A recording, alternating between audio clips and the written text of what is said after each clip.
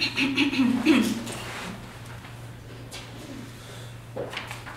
me go. I have to go back. I have to go back. No, alright, don't you get it? There is nowhere to go back to. He needs me. He's still after. I won't let him behind. Look, it's not safe. I'm not letting you go back up there. I'm not letting you leave. I don't need your goddamn permission.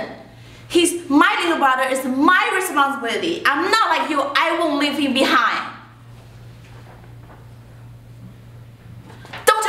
watch me. Look, if you want, if you go up there, you will die.